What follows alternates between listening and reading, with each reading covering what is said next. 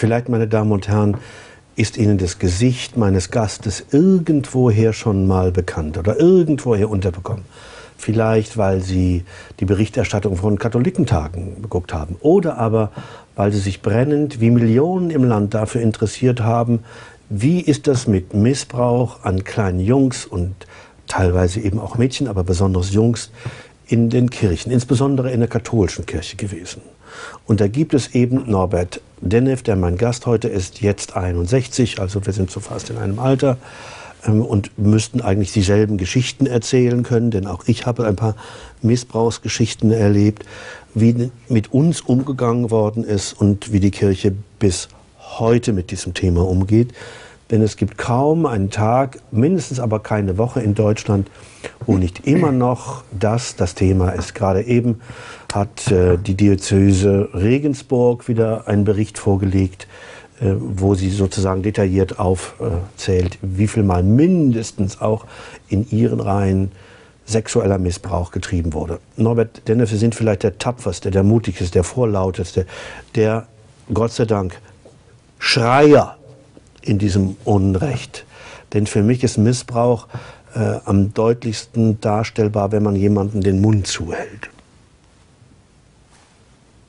Ja, also das heißt, äh, wir waren in deiner Hose, äh, wir haben sozusagen da die Hände hingehalten und jetzt halten wir die auch noch vor deinem Mund. Und dieses Zuhalten des Mundes hat bei Ihnen wie viele Jahre gedauert? 35 Jahre. Habe ich geschwiegen. Das ohne, dass, ohne dass man bedroht wird eigentlich, ja? Was, was? Nein, die Bedrohung ist ja, die ist ja da, die ist ja in der Gesellschaft da. Die spürt man ja unterbewusst. Also wir müssen nicht die ganze Geschichte nochmal erzählen. Sie sind, wie alt waren Sie, als Sie missbraucht worden sind? Von 10 bis 18. Äh, und zwar vom Pfarrer, glaube ich, vom, vom katholischen Pfarrer, Pfarrer? Bis 16 und dann von dem Organisten der Gemeinde. Okay, das nehmen wir jetzt mal so. Und jetzt gucken wir an, was daraus geworden ist. Und jetzt sagen Sie, ich habe 35 Jahre lang schweigen müssen. Ähm, das das ist, man muss nicht äh, jetzt, jetzt unmittelbar unbedingt Zwang ausüben, ich töte dich oder so, ja, ja. Äh, was man so kennt, sondern das ist da, das ist unterbewusst da. Ähm, das spürt man, wenn ich jetzt rede, was da passiert. Mhm. Das läuft im Unterbewusstsein ab. Mhm. Denn ähm, das ist eine These, die ich jetzt aufstelle mhm. und die habe ich ja bewiesen. Ich habe 1993 das Schweigen gebrochen und wenn man meine Geschichte äh, hier sich anschaut, äh, sieht man, was da alles passiert ist bis jetzt, bis 2011. Ja. Wie die Gesellschaft damit umgeht, wie die Familie damit umgeht, wie die Kirche damit umgeht, wie wir alle damit umgehen. Das heißt, wie ein Betroffener, der sein Schweigen bricht, weiterhin ausgegrenzt wird. Und das ist ähm, der, der ausschlaggebende Punkt eigentlich dafür, ähm, dass, dass das sich einprägt, das spürt man, wenn ich jetzt rede, was da passiert. Und deshalb schweigt man. Ich bezeichne das, das Schweigen, meine 35 Jahre Schweigezeit, bezeichne ich als, als, als Einzelhaft. Heißt es, ich wollte doch bei euch bleiben. Ich wusste ganz genau, wenn ich rede, sortiert ihr mich aus. Und ich, das ich wusste es nicht. So, sorry, muss ich, okay. muss ich unterbrechen. Okay. Ich wusste es nicht. Äh, das, das habe ich also äh, unterbewusst gespürt. Ja, ja. Das ist einfach drin. Ja. Das spürt man. Ne? Also ich ahnte, ich verbessere mich mal, ich ahnte, dass wenn ich rede, äh Nein, muss ich auch nochmal unterbrechen. Ähm, das ist einfach, die Frage ist gar nicht da. Das ist blockiert. Mhm. Das Sprachsystem ist blockiert. Mhm. Das geht nicht, man kann nicht drüber sprechen. Mhm. Man hat gar nicht die Sprache dafür. Und das ist eingefroren. Das heißt also die Abspaltung. Die, äh, die Ursula Wirz, äh, äh, Wirz, spricht da von dem Seelenmord.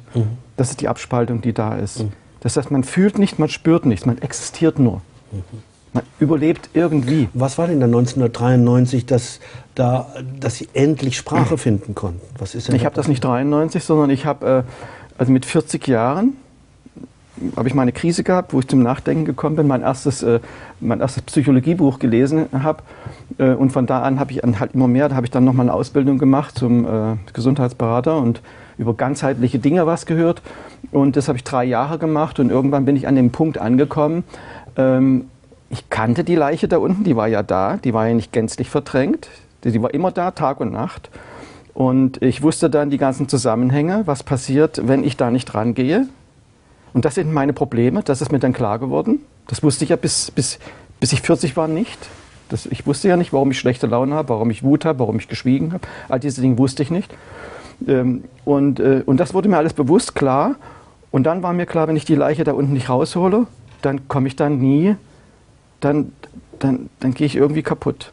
Das habe ich gespürt. Und so ist das entstanden. Der Satz, das muss raus. Alles muss raus. Und daran habe ich ein Jahr gearbeitet. Ich habe ein Jahr das wie ein Bühnenstück vorbereitet.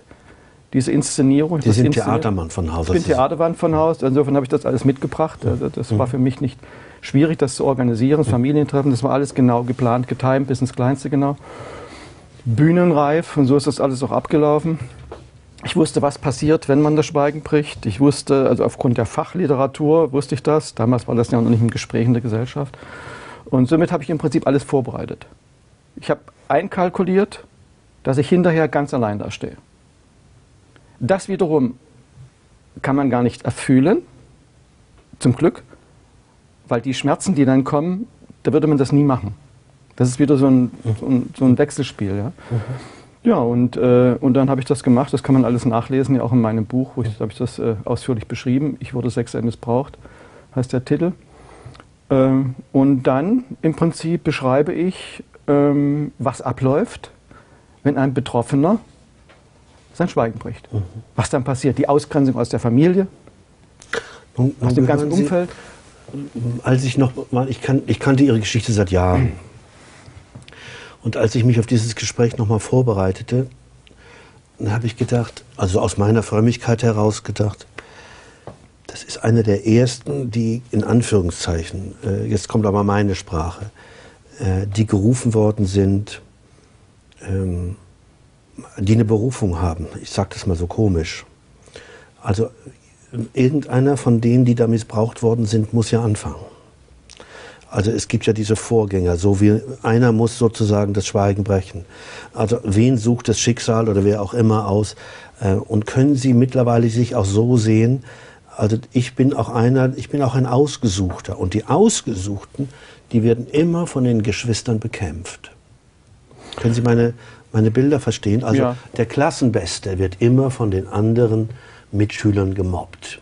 Und wenn man auf einmal eine, eine, eine Berufung spürt. Ich muss es sagen, das ist ja, wenn man so will, eine Berufung. Ich muss das annehmen, ich muss das thematisieren. Dann muss man sich nicht wundern, wenn man getötet wird. Ähm, also ich, verstehen Sie, auch, Sie verstehen, was ich, ich verstehe, bevor ich diesen Weg, also ja, ja. bevor ich die Entscheidung getroffen habe, ich gehe jetzt in die Öffentlichkeit, ähm, habe ich mich über diese Dinge schlau gemacht. Also da ist nichts zufällig, dass ich, okay. da, dass ich überrascht wurde von irgendwas. Okay. Ich war vorbereitet weil ansonsten kann ich nur warnen davor, das, das hält man nicht aus. Ja. Ja, also wenn man da nicht sehr gut vorbereitet ist, selbst dann noch diese Ausgrenzung zu ertragen, dann noch, ja, ja. Äh, das ist, das ist so unglaublich schwer. Ja. Ähm, das ist, das ist eine wahnsinnige Lebensaufgabe, Aufgabe, wo man fast täglich ähm, daran zerbrechen kann. Also das ist dieser Kampf, ich bezeichne das so, ich denke jeden Tag darüber nach, mir das Leben zu nehmen. Das ist einfach ein Bestandteil von mir selber mit. Das diese, diese Höhen und diese Tiefen. Ähm, ja, aber vielleicht noch mal eins. Äh, jetzt habe ich den Faden verloren. Was ich eingangs sagen. Ich habe ich hab den Faden verloren. Sorry. Lassen wir das. Gehen wir weiter. Verloren. Den habe ich Ihnen dann verlieren lassen, mhm. äh, weil ich äh, so ein bisschen. Ach, jetzt habe ich es wieder. Sorry, ich habe es wieder. Okay, okay. Sie haben mir geholfen. Sie haben mir die Brücke gebaut. Ähm, äh, es ist ja bekannt, dass ich also ausgetreten bin aus der Kirche und dass ich äh, dann ein langer Prozess, also nicht aus Wut, aus Hass, sondern einfach, weil ich diesen Abstand auch brauchte. Ich spürte und fühlte das. Ich brauche jetzt diesen Abstand, um mir das von draußen an, anzuschauen. Denn wenn man drin ist, äh, dann, dann ist man immer irgendwo verstrickt.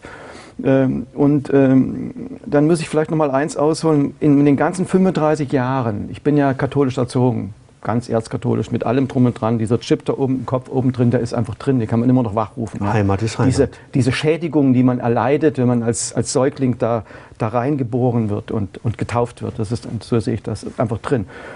Also habe ich, äh, man hängt sich dann, ich habe mich dann dran, ich brauchte ja irgendwas, diese 35 Jahre, ja. erträgt man sonst nicht, diese Einzelhaft erträgt man sonst nicht, wenn man jemand, nicht jemanden hat, mit dem man sprechen kann. Mhm. Also ich habe nachts, besonders nachts, wenn, man, wenn das ankommt, man kann nicht schlafen, da war mein Gesprächspartner Jesus. Mhm. Die ganzen 35 Jahre. Ich hatte ja diesen Glauben, es war alles drin, dass irgend, irgendeinen braucht und, und das war er, der, mhm. mit dem konnte ich sprechen. Mhm. Sonst hätte ich wahrscheinlich die 35 Jahre nicht überlebt. Mhm. Oder irgendwie, aus, mir wäre wär vielleicht ein ganz anderer geworden, auch keine Ahnung, weiß man nicht. Ja? Dann kam diese ganze Zeit dann, diese ganze Aufarbeitungszeit und dieses Austreten, diesen Abstand nehmen. Also ich sehe mich heute nicht mehr als, als, als, als gottgläubig, aber jetzt nicht aus Wut, aus Hass. Also ich kann jeden akzeptieren, der das ist. Und ich bitte auch darum, mich zu akzeptieren. Und dann funktioniert das miteinander wunderbar. Dann haben wir eine Gesellschaft, wo das einfach funktioniert. Ja, der eine braucht diesen, der andere braucht jenes. Okay. Dann funktioniert das. Aber ich ähm, ähm, ähm stimme Ihnen dazu. Ich habe lange überlegt, ja, warum mache ich das? Mhm. Ja, und dann habe ich viele Lieder, Texte, Konstantin Wecker war mir da auch ein guter mhm. Begleiter mit dem Lied. Äh, irgendwann, ich komme jetzt nicht auf den Titel, irgendwann drückte einer einen Stempel auf die Stirn und äh, du musst das einfach machen. Mhm. Ich kann das nicht, oftmals nicht beschreiben, warum. Meine Entscheidung habe ich getroffen, als ich äh, dann mit dem Spiegelartikel rausgegangen bin. Hab ich, war in so, einer, in so einer Malgruppe, in so einer Psychomalgruppe, in so einer Klinik, Psychoklinik. Da war so ein 17-jähriges Mädel und die malte ihre schwarzen Bilder und ich sah in ihre Augen und, und wusste, die kommt die nächsten 50, 100 Jahre nicht raus. Mhm. Ich habe Glück gehabt mhm. irgendwo. Mhm. Und da war die Entscheidung klar, ich muss das machen. Ich muss diesen Weg gehen. Mhm. Nicht aus therapeutischen Gründen. Da kann ich nur warnen davor. Das geht nicht, das funktioniert nicht. Also ich äh, sage das nochmal ganz laut, wir müssen dann auch so eine kleine Pause machen, so eine Werbepause machen. Also, wenn du denkst, du müsstest aus therapeutischen Gründen auf den Marktplatz gehen und schreien, da war nicht vor. War nicht vor. Da war nicht. Das sind meine Erfahrungen. Bei anderen Fulzen ist meine Erfahrung. Äh, ich war auch davor. Ja. Also wir beide mhm. waren davor. Denn du musst nicht annehmen, dass auf dem ganzen Marktplatz sich nur Helfer versammeln werden, die dich hören. Sondern sie werden deinen Schmerz auch für ihre Interessen verwursten. Das ist, wenn ich dann in, den, in die Medienlandschaft so, reingehe. Und, und, und. Aber, oh, sorry, es ist nicht nur Medienlandschaft. Wie, wie sollen die Menschen, die mit dir leben, in der Nachbarschaft etc., lernen, neu mit dir umzugehen? Mein Gast Norbert Dennef ist einer der ersten, die in Deutschland das Thema Missbrauch, sexueller Missbrauch durch die katholische Kirche öffentlich gemacht hat. Mittlerweile schon bald 20 Jahre sind Sie mit diesem Thema unterwegs. Jetzt sehen Sie doch mittlerweile, dass die katholische Kirche teilweise mit den Bischöfen am Boden liegt und Buße tut. Kommen die da raus? Wie schätzen Sie das ein? Wie? Ja, das ist ganz furchtbar. Also diese, diese, dieses Theater, für mich ist das Theater, was da gespielt wird. Ja. Und für mich als Betroffene, und ich kenne viele andere, denen es genauso geht, ja. äh, auf meiner Homepage, wir sind ja jetzt ein Netzwerk, Netzwerk B, Netzwerk Betroffene von sexualisierter Gewalt. Da kann man viel darüber auch nachlesen. Ähm, das ist, sich hinzustellen und sagen, ich bitte äh, halt um Vergebung. Mhm. Und dann wird noch gebetet dafür. Mhm. Und wenn derjenige das dann nicht macht, wird er ausgegrenzt. Mhm. Das, äh, Vergebung gehört da überhaupt nicht hin, ist überhaupt kein Thema. Mhm. Als der Papst, der Papst Paul II., mir persönlich hat schreiben lassen, nachdem ich ihm halt, halt nach ich, nachdem ich nach Rom geschrien habe, schriftlich mit mhm. allem drum und dran, bitte hilf mir, der Bischof Feige von Magdeburg will mich zum Schweigen zwingen mit 25.000 Euro. Hilf mir. Mhm. Hat er mir ein halbes Jahr später geantwortet, antworten lassen, dass er für mich betet, dass ich wieder vergeben kann. Dass das Sie, Gleiche, dass ich wieder vergeben dass Sie kann. vergeben? Er, Sie sollen dem Priester vergeben? Ich soll dem vergeben. Dass ich wieder vergeben kann. Und das Gleiche läuft jetzt hier auch ab. Das heißt also, dieses Vergeben, wir bitten und wir beten darum, und aber ja mittlerweile sind die doch ein bisschen strenger geworden. Sie schmeißen die Leute mittlerweile raus, die sie 20 Jahre lang versteckt haben. Also äh, katholische Priester oder Ordensbrüder, äh, die werden ja mittlerweile sozusagen angezeigt. Also da bin ich mir aber nicht so sicher, da möchte ich auch einen Einschnitt machen. Ja. Äh, das war jetzt so in dem einen Jahr, jetzt ist, man, jetzt ist man nicht mehr so schweigsam. Das heißt also, jetzt sind die, die Betroffenen, die jetzt lautstark nach draußen gehen und sagen, der hat mich missbraucht, mhm. der kriegt eine Verleumdungsklage, muss mit Verleumdungsklagen rechnen. Ist es so? Also selbst, bei euch, äh, äh selbst unser Verein Netzwerk B schlägt sich halt momentan mit zwei, äh, mit zwei Verleumdungsklagen rum. Ja? Das heißt also, da damit legt man ja die lahm, die nicht die Finanzen haben, die sich dagegen nicht wehren können. Ja? Mhm. Und die bringt man wieder zum Schweigen. Das ist die Praxis, denn der Gesetzgeber schützt ja die Täter. Wir haben ja Täterschutz. Du musst ja beweisen. Das funktioniert ja zusammen. Du musst ja, du musst ja beweisen. Ja, nicht nur das, auch wenn die Verjährungsfrist eingetreten ist, muss ich die Klappe halten, muss ich wieder schweigen. Und das ist das Kriminelle, für mich aus meiner Sicht kriminell daran. Das heißt also, diese, dieser, äh, unser Staat, Wie unser Gesetzgeber schützt die Kirche. Wie lange ist die Verjährungsfrist? Ja, da muss man erstmal trennen zwischen, äh, zwischen strafrechtlich und zivilrechtlicher. Bei der strafrechtlichen, das ist für mich so ein, das, dafür habe ich noch niemanden gefunden, der mir das richtig erklären kann, weil das ja gestaffelt ist an, aufgrund der Strafe. Also dann müssen Sie Glück haben, Schwanz muss im Loch gewesen sein, dann ist es 20 Jahre, ja, Vergewaltigung. Und das ist so für mich, das, ist, das geht nicht. Also ich äh, habe auch diese, meine Beschwerde, beziehungsweise meine Petition, eine Beschwerde beim Europäischen Gerichtshof, richtet sich nur auf das Zivilrecht. Damit das Opfer sagen kann, ich fordere ein, du hast mir Schaden angerichtet, ich fordere ein, dass du den Schaden wieder gut machst. Genauso ist das bei der Kirche. Da helfen keine Bete, helfen keine Gebete und auch keine, keine Vergebungs-, äh, sondern da helfen auch keine 5000 Euro, das ist eine Verhöhnung, sondern da ist Schaden, da Schaden angerichtet worden und den muss man auch so benennen und auch werten. In Amerika zahlt die katholische Kirche Milliarden dafür. Richtig, da geht es ab einer Million und aufwärts. Und das ist auch aus meiner also bei Sicht uns geht es ab 5000 aufwärts, in Amerika ab eine Million aufwärts. Ja, nicht aufwärts, sondern bis 5000. Und äh, halt, da gibt es eine Klausel, eventuell auch ein bisschen mehr, aber da wird hinter den in Kulissen In Deutschland geht es bis zu 5000. Richtig. Im Einzelfall ein bisschen mehr. Aber und in Amerika fängt es erst bei einer Million an. Richtig, in etwa, ja. Und äh, der Schaden, der angerichtet wurde, nicht nur bei den Betroffenen selber, sondern bei den Angehörigen, bei meiner Familie, die Kinder, die leiden ja alle darunter. Die ganze Gesellschaft trägt den Schaden mit. Darüber haben wir überhaupt noch nicht gesprochen. Das ist überhaupt noch nicht rausgekommen. Das heißt also, jetzt im Moment wird wieder versucht, den Deckel zuzuschrauben. Mhm. Mit diesen 5000 Euro der Kirche. Denn Sie brauchen ja nicht befürchten, dass die Opfer wirklich auf die Straße gehen. Da gehen nur vereinzelt und die halten ihr Plakat hoch. Die können es nicht aufgrund des Schadens. Also haben sie nichts zu befürchten. Die Jesuiten haben es getestet. Die haben den Vorlauf gemacht. Was passiert da? Jetzt zieht die Kirche komplett nach und damit schraubt man den Deckel zu. Jetzt wird nochmal gebetet. Die Bischöfe streiten sich Wochen oder Monate lang darüber, ob sie sich nun hinlegen oder hinknien. Oder hinknien. Ich habe es gelesen. Ja, äh, das, das kann man gar nicht mehr fassen. Da bin ich mit Ihnen äh, Diese Heuchelei. Das ist ein Kaspertheater. Für mich ist es auch ein Kaspertheater. Ja, aber das ist so, das ist nicht nur ein Kaspertheater, das ist ja was Schönes, was Nettes. Hier werden wiederum Menschen, Betroffene geschädigt. Erneut. Was wäre Ihre Erwartung? Meine Erwartung wäre, das ist ja mein Ziel, dafür setze ich mich hauptsächlich ein, für die Aufhebung der Verjährungsfrist. Wir dürfen nicht damit jetzt rechnen, ach, dann wird alles wunderbar und besser und jetzt alle werden gehört. Ich muss nach wie vor noch Beweise haben. Es ändert sich ja nicht wirklich was. Aber es gäbe einen Ruck durch die Gesellschaft, einen Denkruck, hoppla. Das wird genauso bewertet wie Mord, denn das ist Seelenmord. Mhm, mh. ja? Die Gesellschaft muss aufwachen, mhm. sonst funktioniert das alles nicht. Mhm. Ja? Und die muss auch aufwachen, das kostet richtig viel Geld. Mhm. So wie in Amerika, dass da Bistümer pleite gehen. Mhm. Das ist richtig. Erst dann wacht man auf. Erst dann ist überhaupt der Vatikan aufgewacht. Hoppla, das ist ja jetzt Geld und Geld ist Macht. Ja, das heißt nicht, dass ich geldgierig oder irgendwas bin, sondern wir, wir rechnen immer in diesen Dimensionen. Und mit welchem und warum sollte der Geschädigte jetzt weiterhin Hartz IV bleiben, weiterhin da irgendwo ganz da unten im Sozialen aus, ausgegrenzt werden. Das heißt also, wir brauchen Signale, wir brauchen eine Vision. Wir brauchen eine Vision in unserer Gesellschaft, eine Vision, eine gewaltfreie Gesellschaft. Das sollte unsere Vision werden. Das heißt, wir müssen, sollten uns alle unter einem Dach wiederfinden. Und dafür brauchen wir diese, diese Anfangssignale. Und das wäre ein Signal. Es gibt ja eine, eine, ganze Reihe, die jetzt schon halt mir zustimmen und sagen, das muss aufgehoben das muss, Die Verjährungsfrist muss generell ich, aufgehoben werden. Und zwar rückwirkend. Ja. Das ist das große Geheimnis dabei. Jetzt kommen alle und sagen, geht nicht.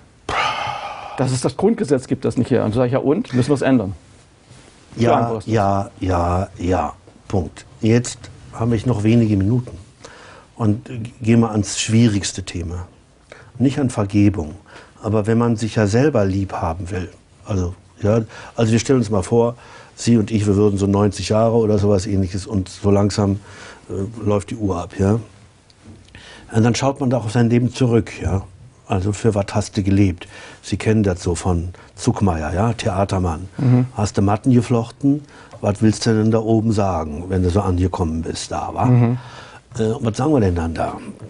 Also, was sagt denn der Norbert, wenn er dann da oben ankommt? Für was warst du denn da? Auf der Welt. Also warst du derjenige, der das aufgedeckt hat? Oder, äh, oder also wo ist die Liebe geblieben? Jetzt nicht die Liebe zur Kirche, mhm. also das weg. Mhm. Aber äh, gibt es auch die Gefahr, dass vor lauter Themenzentriertheit die Güte untergeht? Ich bin dankbar dafür, dass ich das dass, also, dass ich Glück gehabt habe, dass ich das aufdecken konnte. Ja, ich, ich möchte gern ein, als gütiger Mann sterben. Ja, ich bin dankbar dafür. Ich konnte ein Leben lang nicht fühlen, nicht spüren. Ich konnte nicht spüren, wie schön das ist, wenn die Sonne aufgeht, mhm, mhm. wie schön das ist, einen Baum anzufassen, mhm.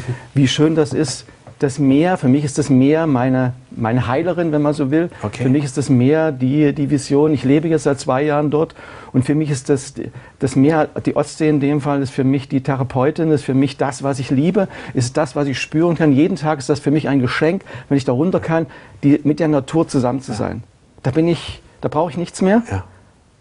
Und da kann ich, da kann ich ich sein. Da brauche ich einfach nichts mehr. Und das ist ein wunderbares Gefühl. Und das ist das, wo ich, äh, was ich vorher nicht, nicht kann, was ja. ich auf diesem Weg kennengelernt habe. Ja. Deshalb bin ich dankbar. Ja. Das heißt also, mit Wut und Hass ist das alles nicht zu regeln. Gefällt. Geht also, da sie, also da geht, geht ein Mann, so sehe ich die sie jetzt gerade so sozusagen an der Ostsee entlang oder sogar in der Ostsee rein, ja. so mit den, mit den Füßen, mit den Wellen spielend, dann nimmt er ja was Besonderes wahr, nämlich Ewigkeit. Den Horizont. Ja, das meine ich. Also den das Meer, das ewige Meer. Ewig.